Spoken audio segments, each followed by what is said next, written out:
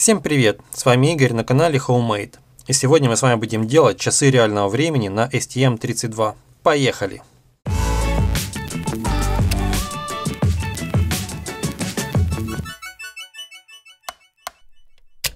Отладочная плата STM32F138T6, известная также как Blue Pill, имеет встроенный часовой кварц.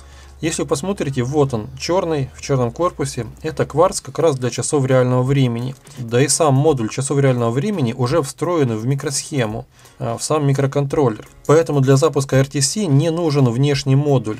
Достаточно просто подключить батарейку к самой этой плате, и все будет работать, но только внести нужно некоторые настройки. Давайте сейчас посмотрим, как это сделать. Для того, чтобы часы реального времени шли без сбоев, нужно подключить батарейку. Батарейка подключается на плате к пину VB.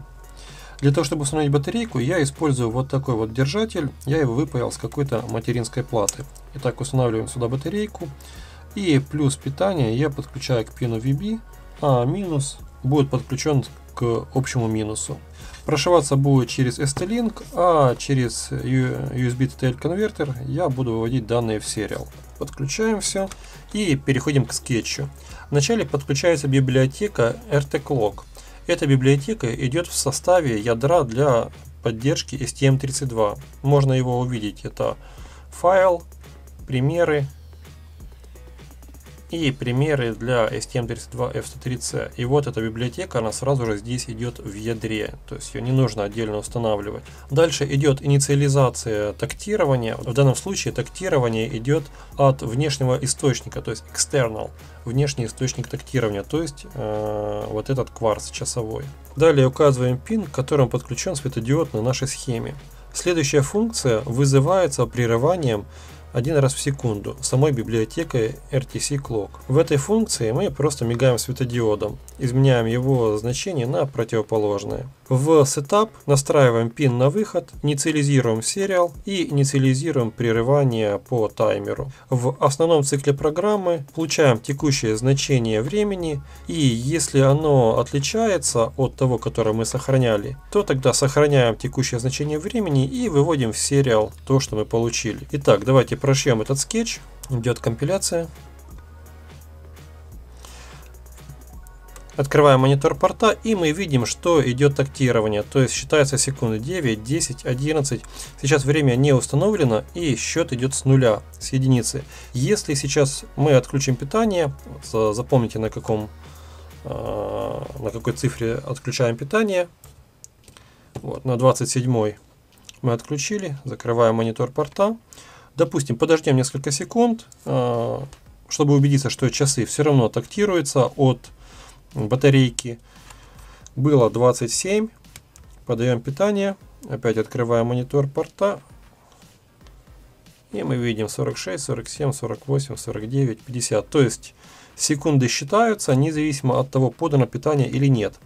Это нам обеспечивает подключение батарейки. То есть не нужно никакого внешнего модуля часов реального времени. Просто подключить батарейку и часы идут. Давайте теперь подключим OLED-дисплей, сделаем на его основе какие-то часы. OLED-дисплей подключается по шине I2C. А, по умолчанию это PB6 и PB7 пины. Итак, перейдем к скетчу. Вначале подключается библиотека для работы с часами реального времени. Подключается библиотека для работы по I2C и библиотека для работы с часами. Эту библиотеку необходимо скачать. Для этого переходим в скетч, подключить библиотеку, управлять библиотеками. И в менеджере библиотек прописывайте Adafruit SSD 1306. И вот эта библиотека, ее вам необходимо установить. Дальше идет инициализация часов. Инициализируем дисплей. Единственное только, что меня смутило, это то, что по умолчанию нужно указывать pin reset от OLED дисплея. Какой здесь pin reset, если его здесь в принципе нет, не существует? Это же I2C модуль. PinRS здесь в принципе нету. Но так или иначе, для работы этой библиотеки почему-то требуется pin reset. Странно это. Я указал его pin 13, к которому подключен светодиод. Надеюсь, проблем с этим не будет. Дальше инициализируются переменные, которые отвечают за часы, минуты и секунды, и несколько строковых переменных, которые понадобятся в дальнейшем. Функции blink, которая вызывается один раз в секунду по прерыванию, мы разрешаем обновление дисплея, также мигаем светодиодом. В Setup инициализируем serial и что мы делаем? Мы устанавливаем время. Нам нужно здесь прописать, которое сейчас время. В данном случае у меня это 12 часов 7 минут, но я укажу 8 минут, потому что нужно время для компиляции, пускай будет 20 секунд, какая разница. И нужно установить время. После установки времени нужно раскомментировать вот эти строки и еще раз перепрошить.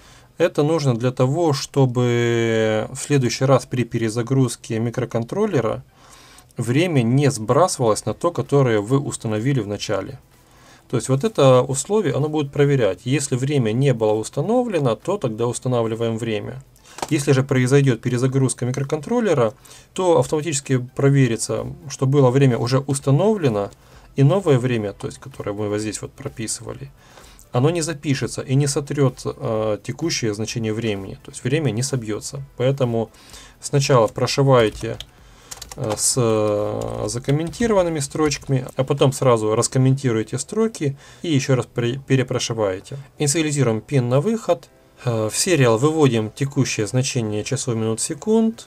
Подключаем прерывание по таймеру один раз в секунду и инициализируем дисплей и некоторые его настройки. В основном цикле программы, если разрешено обновление дисплея, а это обновление разрешается один раз в секунду по прерыванию, то тогда получаем значение часов, минут и секунд и все это выводим на дисплей. Сейчас мы это прошьем. Итак, загрузка прошла и часы тикают. Но если я сейчас сделаю сброс, то у нас время пойдет именно с того момента, с тех э, секунд, которые мы установили. Для того, чтобы время не сбрасывалось после перезагрузки, нужно раскомментировать эти строки и еще раз перепрошить микроконтроллер. Ну, для этого нужно, конечно же, правильно время выставить.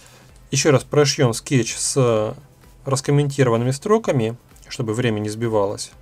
Вот так идет перезагрузка. И время идет дальше. Если я сейчас перезагружу, 31, 32, 33.